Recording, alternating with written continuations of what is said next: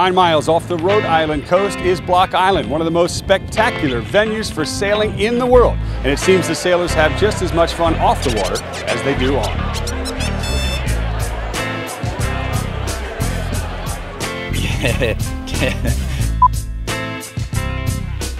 I wish I had more memories off the water. yeah, 10 years ago was my last event here. And uh, yeah, a, a, a, lot of fond memories, I believe, but not too many I can remember. Uh, it's tough to say. Uh, they're, they're usually a little foggy. It's late Monday. What day is it today? Wednesday. It's like Tuesday night. And we're driving out of the Oar on our little dinghy back to the boat we're sleeping on.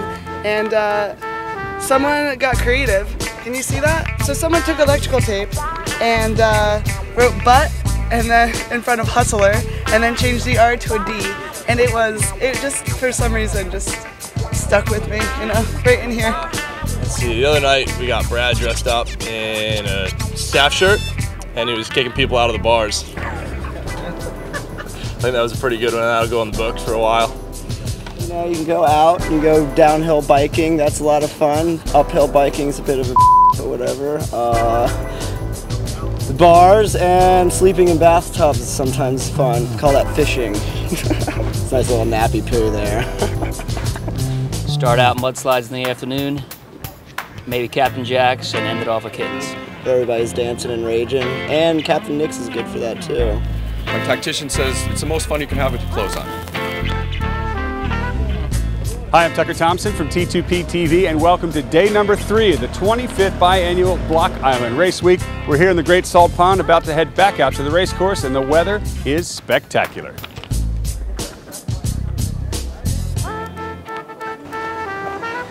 And what a day it is. More breeze at this time of the day than yesterday. The sea breeze filling in. The sun is out. We're going to race. We begin with the Green Fleet and the start of the double-handed division. One boat definitely over early. And you'd have to be impressed with this fleet with only two people sailing the boats. One victim in the over early department, and it is Adrian Little's flashpoint heading back to restart.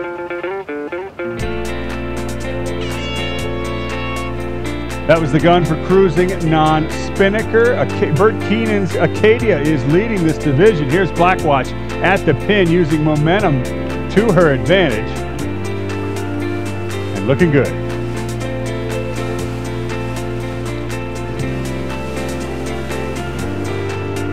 The building sea breeze favors the right early on, and this last class to start favors the committee boat end, and they're off. Scratch that, this is the last class to start. Four boats on the line in PHRF 5. One thing I love is personality in this sport, and these guys have it. Just look at the crew shorts on Air Express. Ready? One, two, three. Go get them, guys. And clearly the driver of Speedway Boogie's on the wrong boat. Clearly one of the biggest boats on this race course would be well out in front. It's Sky, Ralph Worthington, and crew.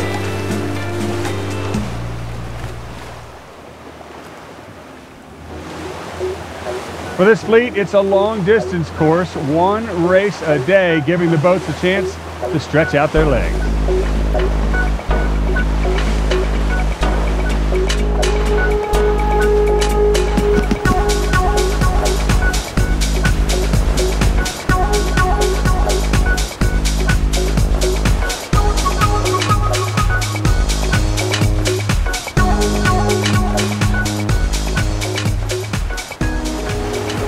Charles Townsend's Fidelio leads the division. They also get the most beautiful boat award in this fleet.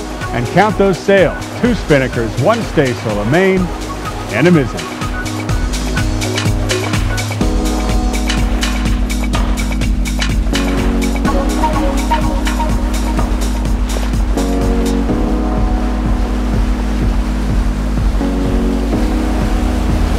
The unsung hero in any race boat is the bowman. And here two of them are working on a problem. We're not sure what it is. Maybe the roller furl was jammed up. They're going to have a few miles to sort it out before the next upwind leg. Now we got three of them in on the job. We got a bow committee. There we go, send in the young guy.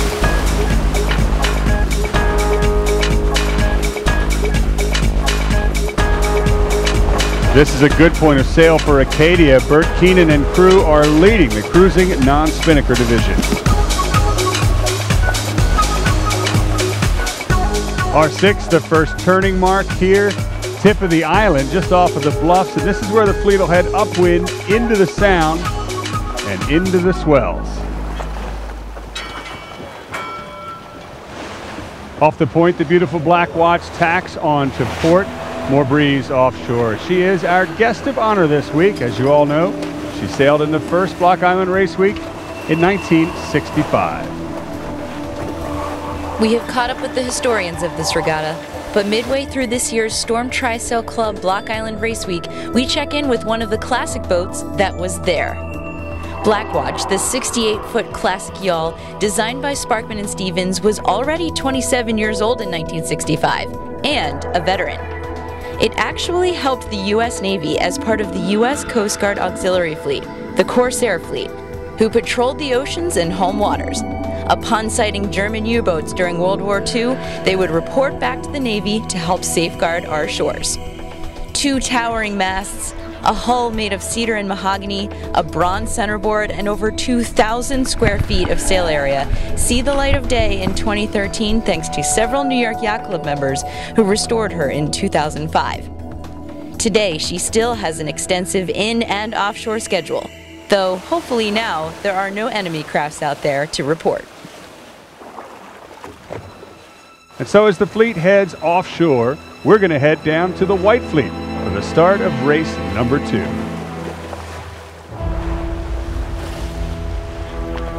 It's the J44s up first.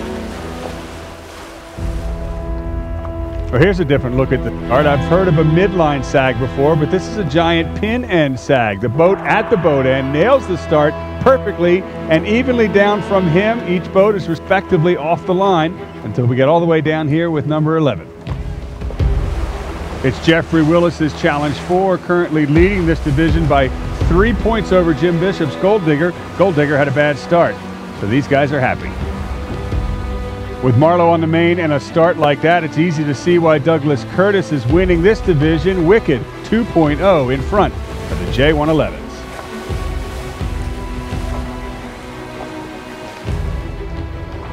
The breeze is picking up and has shifted right a little bit, and the 109s have noticed it, crowding the committee boat in before putting their bows down.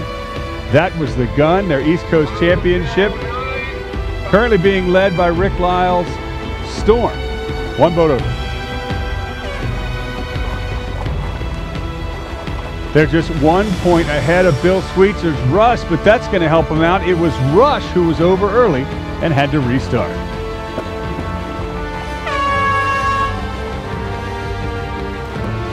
Upwind, the breeze is definitely building, and this time it's shifting left near the top of the island with all the J44s on starboard and the 111s on port. In the J44s, Maxine continues to lead her rivals. Now they've all jibed on port. And just look at how tight the competition is in the 111. Out in front is Eagles there, Mike Piper, but he's going to have to work hard to keep three or four boats just behind him from catching his breeze. Speaking of catching breeze, Wicked 2.0 rolls right over Andiamo, both their main and kite luffed. They made it hurt.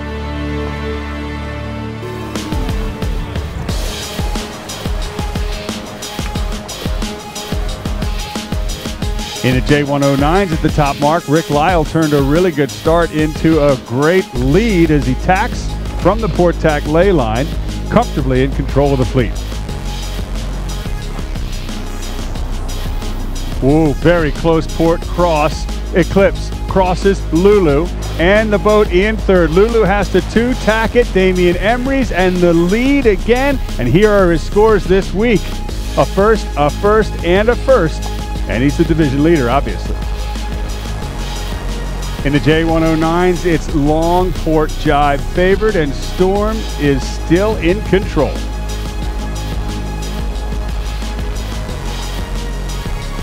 Once you're out in front, good crew work won't advance you anymore in the race, but a screw up can lose you distance. The crew takes no chances and drops the kite early.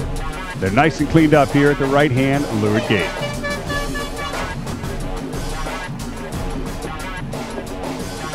Five and 12, we're having a little tussle past the starboard lay line. Now they've jibed into the mark. Can 12 keep the overlap?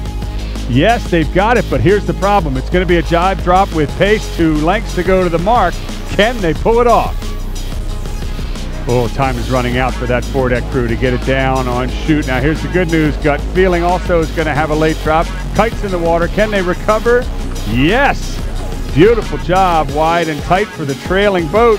But Cut Feelings got the spinnaker halfway down and no jib rolled out.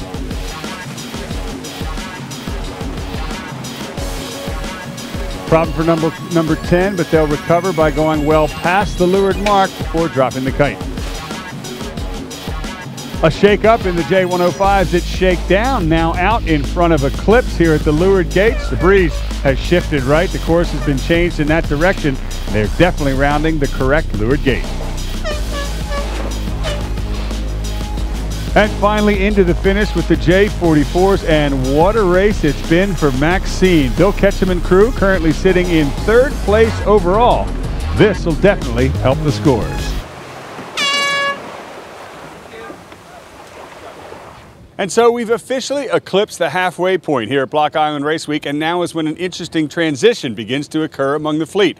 Those within striking distance of a top level finish will start to focus more on the sailing, and those who are not will certainly start to focus more on the festivities here on shore. Either way, it's all part of what adds to the allure of Block Island Race Week. More to come tomorrow. I'm Tucker Thompson from T2P TV.